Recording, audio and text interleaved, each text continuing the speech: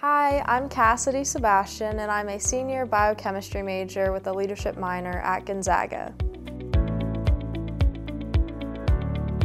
So in high school, I really liked biology courses and chemistry courses, and when I got to Gonzaga, I really wanted to major in something that I wanted to enjoy, and I thought that the combination of biology and chemistry would fit really well with me because I liked both of them.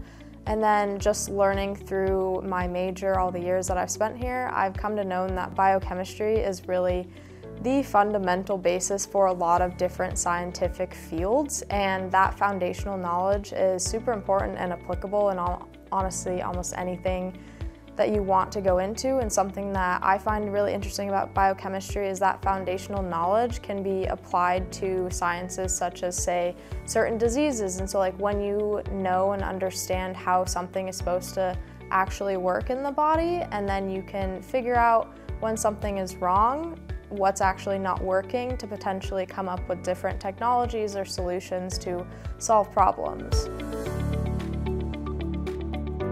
So I am in Dr. Cravens' lab. I've been in her lab since I was a freshman, so I got very early involved in undergraduate research, which is something that happens at Gonzaga that I'm thankful for.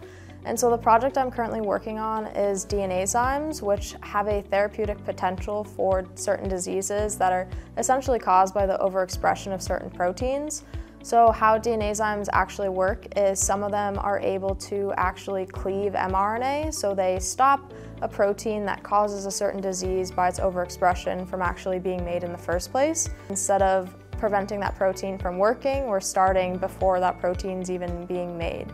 So my project was involving DNAzymes and specifically 817 and we were looking at if DNAzymes are going to be used in the human body, so such as in cells, they have to be able to withstand DNA damage.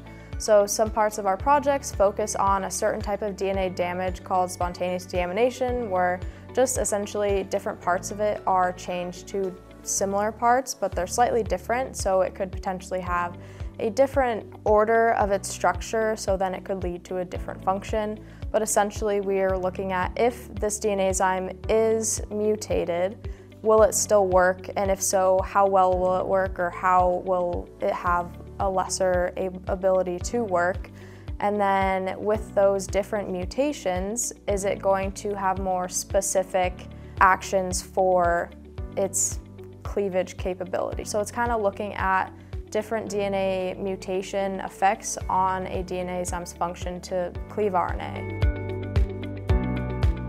So my plans for graduation is I'm going to actually apply to medical school this next cycle in May and I'm actually going to be getting my CNA when I go home this summer during my application year and I'm hoping to go to medical school this next cycle because it's something I'm passionate about, especially the intersection of just science and relationships that you can have in medicine, and I'm looking to potentially serve in more rural and underserved areas.